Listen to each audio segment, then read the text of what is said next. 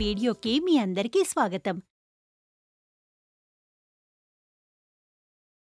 గత వీడియోలో మనం సోపాన విచరణ పద్ధతి ద్వారా వర్గీకృత దత్తాంశం యొక్క సగటును కనుగొనడం నేర్చుకున్నాం.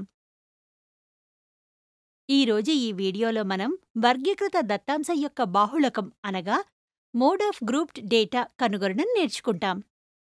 రండి బాహుళకంను అర్థం చేసుకోవడానికి ముందు అవర్గీకృత దత్తాంశం గురించి తెలుసుకుందాం.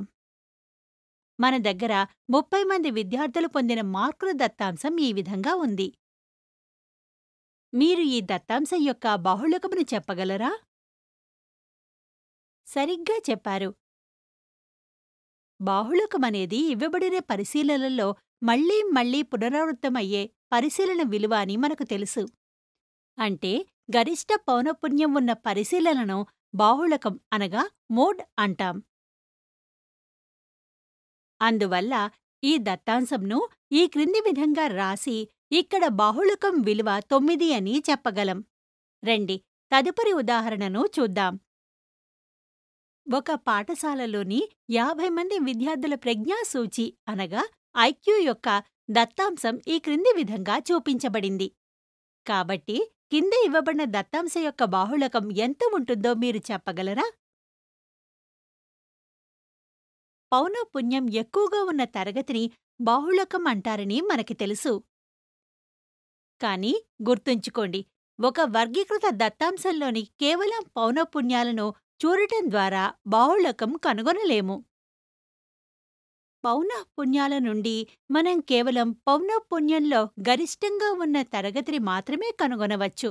దీనిని బాహుళక తరగతి అనగా మోడల్ క్లాస్ అని అంటారు.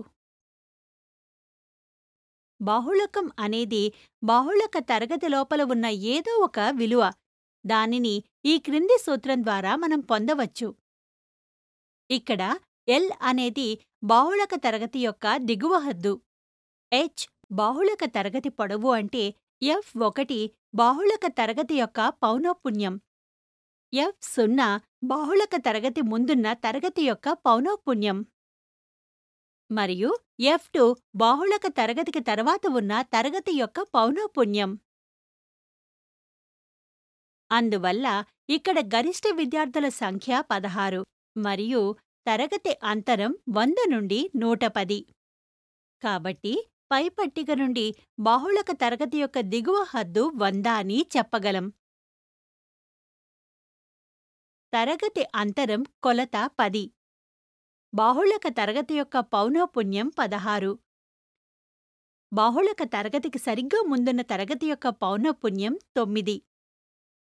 మరియు సరిగ్గా తర్వాత వచ్చే తరగతి పౌనఃపున్యం పదమూడు. కాబట్టి పొందిన అన్ని విలువలు ఎల్, ఎఫ్ సున్నా, ఎఫ్ ఒకటి, ఎఫ్ రెండు మరియు హెచ్ విలువలను బాహుళక సూత్రంలో ప్రతిక్షేపించగా బహుళకం విలువ నూట ఏడు వస్తుంది. కాబట్టి ఇచ్చిన దత్తాంశం యొక్క బాహుళకం నూట ఏడు అని చెప్పగలం. ఈ వీడియోలో ఈరోజు మనం వర్గీకృత దత్తాంశం యొక్క బాహుళకాన్ని కనుగొనడం నేర్చుకున్నాం. తర్వాత వీడియోలో దీనికి సంబంధించిన ఆసక్తికరమైన ఉదాహరణలు చూస్తాం.